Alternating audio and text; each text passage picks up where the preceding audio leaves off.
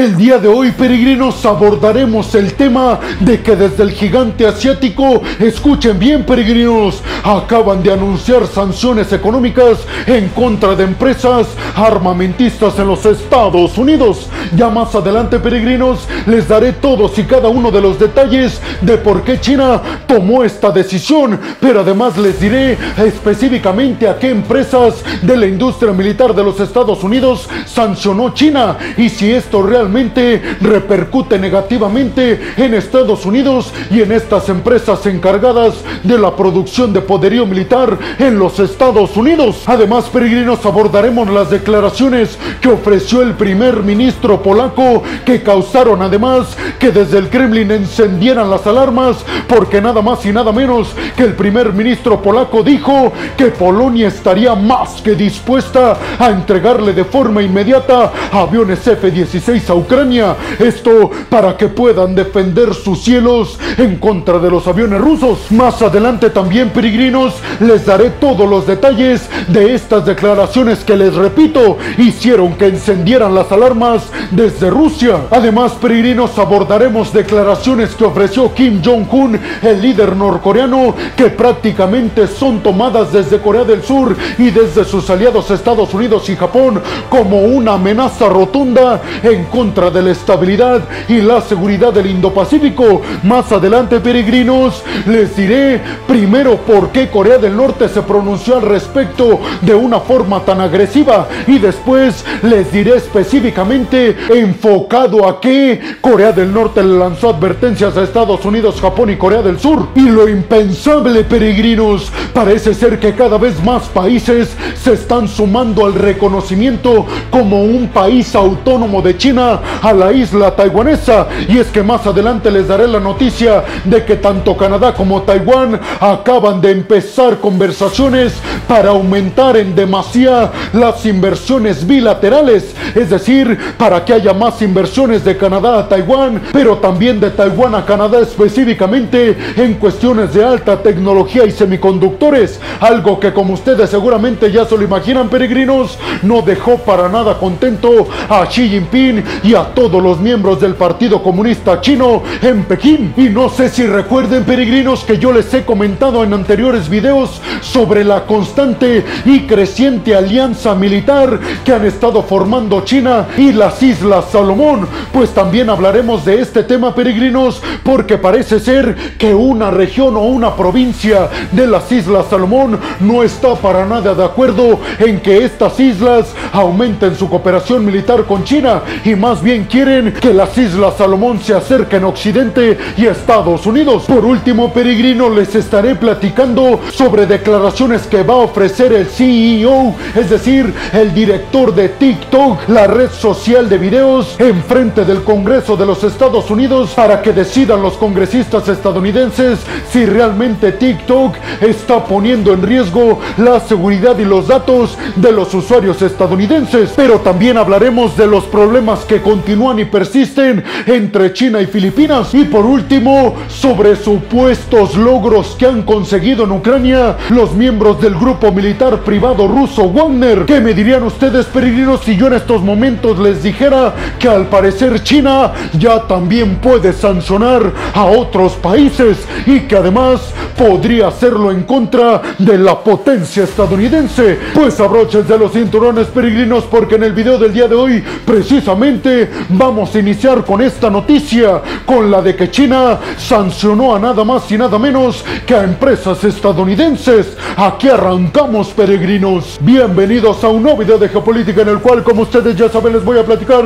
lo más importante que ha acontecido a niveles diplomáticos y geopolíticos alrededor de todo el mundo. Yo soy Alejandro Peregrino. Comenzamos y vámonos rápidamente con la primera noticia del día de hoy, peregrinos, que tiene que ver precisamente con lo que ya les he venido mencionando hasta este punto del video y es que nada más y nada menos que el gigante asiático China acaba de anunciar sanciones económicas y restricciones a dos empresas de la industria armamentista en los Estados Unidos. Específicamente, el gigante asiático dijo que estas sanciones irán dirigidas a Lockheed Martin y a Raytheon Technologies, dos de las principales empresas productoras de poderío militar y de productos y tecnología de la aviación los Estados Unidos, específicamente desde el gigante asiático peregrinos, argumentaron que esta decisión por parte del gobierno de Pekín se debe a que estas dos empresas armamentísticas estadounidenses vendieron poderío militar y han estado vendiendo cada vez más poderío militar a la isla taiwanesa. Ante esto, peregrinos, los CEOs o directores de las dos empresas estadounidenses anunciaron que ellos no son realmente quienes les venden poderío militar a Taiwán. Recordaron ambos directores que cuando se da intercambio o venta de poderío militar entre ambos países, los únicos que lo autorizan son precisamente los gobiernos de estos países. Es decir, que es Estados Unidos quien realmente le está dando poderío militar a la isla taiwanesa, no estas dos empresas. Por eso dijeron los directores, en el dado caso de que nosotros tuviéramos alguna restricción por parte de nuestro gobierno y de la administración demócrata encabezada por Joe Biden, en ese entonces ya no venderíamos poderío militar a la isla taiwanesa.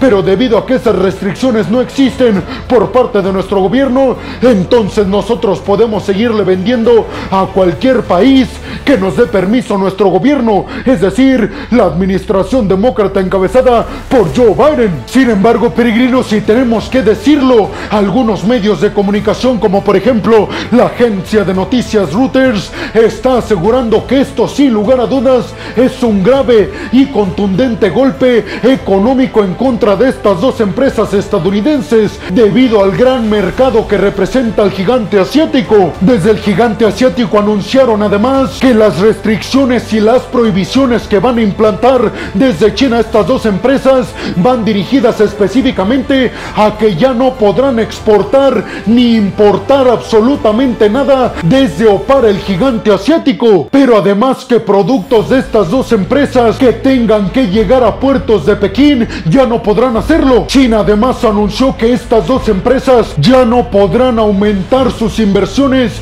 en el gigante asiático y que tendrán que buscar otro país si quieren aumentar su producción de poderío militar o de piezas para la aviación. Esto sin lugar a dudas, peregrinos, como ya se los dije, representa un grave golpe económico contra estas dos empresas estadounidenses, sobre todo porque China es uno de los principales consumidores de piezas para la reparación de las aeronaves, no solamente militares peregrinos, sino además y sobre todo comerciales. Sin embargo, tenemos que decir, peregrinos, que desde medios occidentales están asegurando que ya China ha implantado supuestamente restricciones y sanciones en contra de Lockheed Martin desde el año 2019, pero que desde ese año hasta entonces no se han aplicado absolutamente ninguna sanciones económicas porque también China se estaría dando un golpe en su contra, sancionando a estas dos empresas que son grandes proveedores del ejército chino y además de la aviación civil en el gigante asiático. ¿Ustedes qué piensan, peregrinos? Déjenme su opinión en la zona de los comentarios. Y vámonos rápidamente con la segunda noticia del día de hoy, peregrinos, que tiene que ver principalmente con lo que ya les comenté anteriormente sobre el encendido de las alarmas que se dio en el Kremlin, sobre todo por las declaraciones que ofreció el primer ministro polaco al respecto de que Polonia estaría ampliamente de acuerdo y dispuesta a enviarle de forma inmediata aviones F-16 a Ucrania para que puedan defender sus cielos en contra de los rusos. Sin embargo, peregrinos, la restricción que puso Polonia para poder entregar estos aviones de combate F-16 a Ucrania sería que todos los miembros de la OTAN estuvieran dispuestos también a enviarle en su momento este tipo de aviones a Ucrania, porque dijo Polonia, no queremos ser los únicos,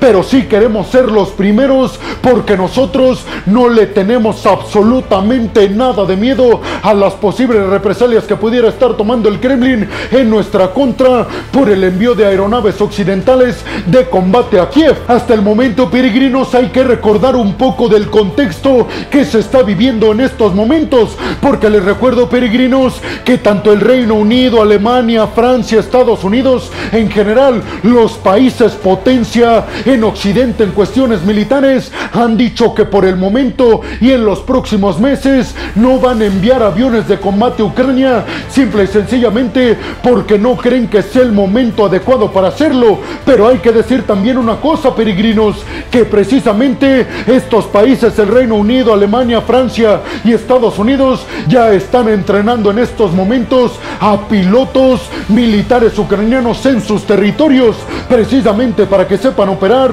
los aviones F-16 estadounidenses.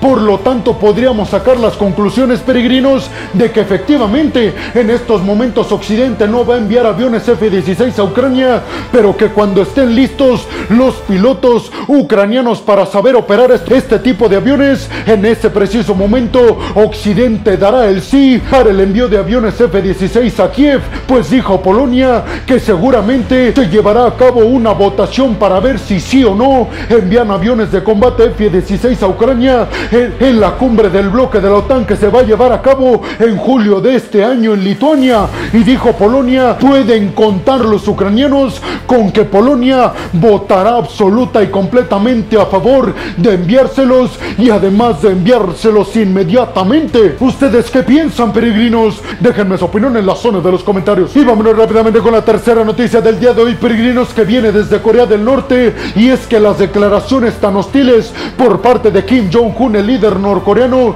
se dieron días después de la visita de Jan Stoltenberg, el secretario general del bloque de la OTAN, a Corea del Sur, en donde tuvo reuniones con nada más y nada menos que líderes militares y diplomáticos en Seúl, pero además con el presidente surcoreano Jun Suk Yeol. Dijeron desde Pyongyang específicamente Kim Jong-un que esta visita de la OTAN a Corea del Sur lo único que significa es guerra y que Pyongyang está absoluta y completamente lista para responder de forma inmediata y con bombas nucleares en contra de Corea del Sur. En gran parte hay que entender lo que puede estar pensando Kim Jong-un, peregrinos, porque les recuerdo que el bloque de la OTAN cuenta con 30 miembros oficiales y con dos más que están a punto de convertirse, Suecia y Finlandia. Pero además de estos miembros peregrinos, el bloque de la OTAN cuenta con aliados que no son miembros del bloque, entre los cuales se encuentran Nueva Zelanda, Australia, la India, Japón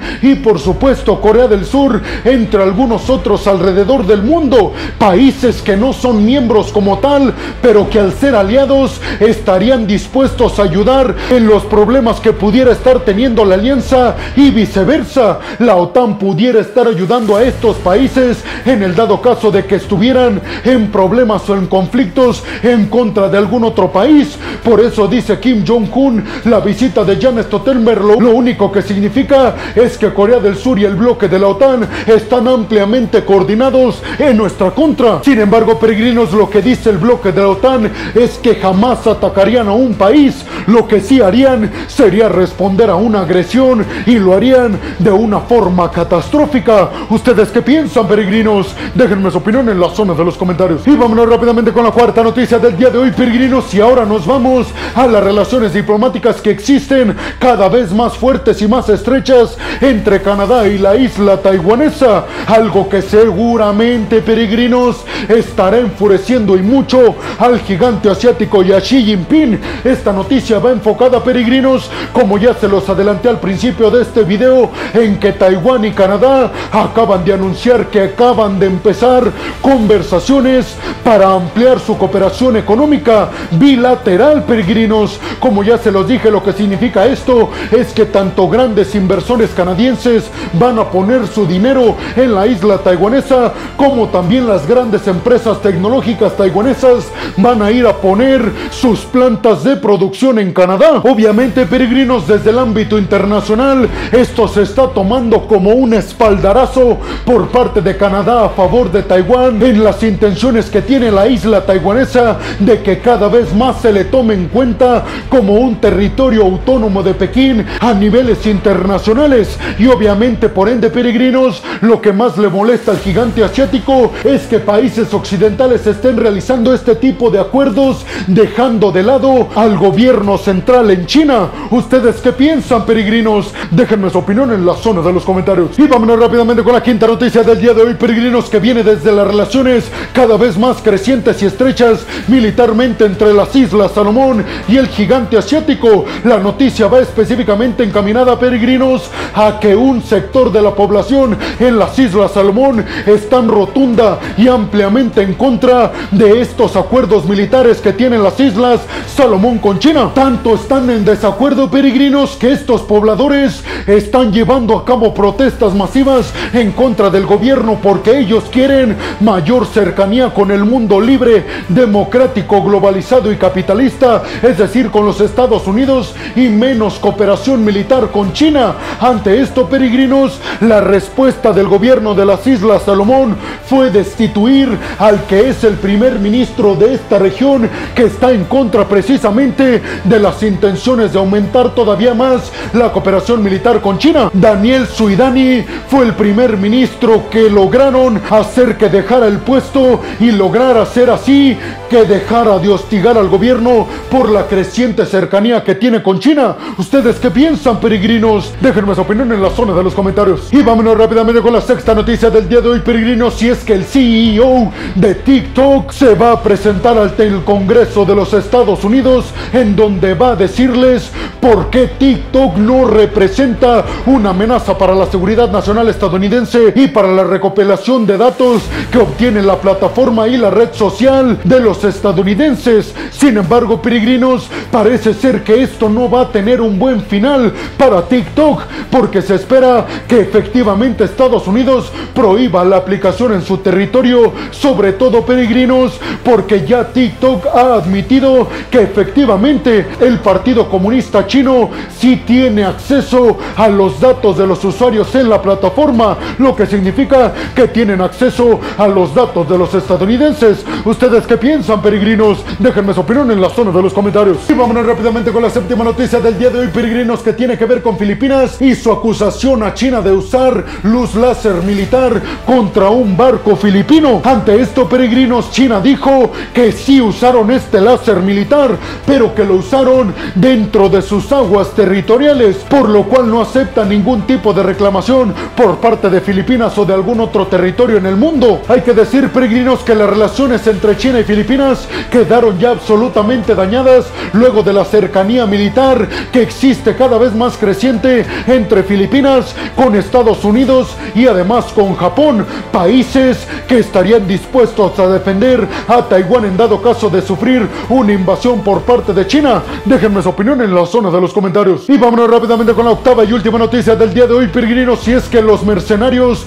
del grupo militar ruso privado Wagner acaban de anunciar que lograron avanzar en la ciudad ucraniana de Krasnahora y además dijeron que estos avances los consiguieron sin la ayuda prácticamente del ejército ruso, de alguna forma presumiendo la gran efectividad que supuestamente tiene el grupo militar ruso Wagner. Sin embargo, peregrinos, hay que decirlo, las tropas ucranianas no han dicho que sí o que no es cierta esta información llegada desde el grupo militar ruso privado Wagner. ¿Ustedes qué piensan, peregrinos? Déjenme su opinión en la zona de los comentarios. Y bueno, hemos llegado al final del video del día de hoy, peregrinos. Les quiero agradecer muchísimo todo el apoyo que recibo por parte de todas y de todos ustedes. Además, les recuerdo, peregrinos, que me ayudarían muchísimo compartiendo este video en todas y cada una de sus redes sociales, dejándome su opinión en la zona de los comentarios y además regalándome un like.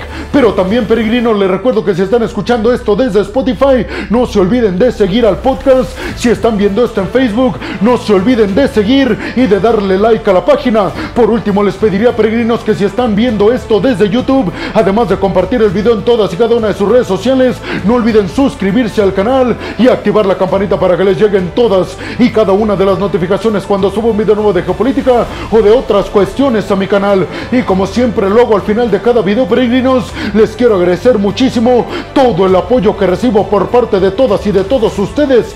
Sin su apoyo, peregrinos, créanme, sería imposible que yo pudiera seguir dedicándome a lo que más me apasiona en el mundo. Así que muchas, pero muchas gracias peregrinos. Sin más por el momento nos vemos en el siguiente video de Geopolítica. Hasta la próxima.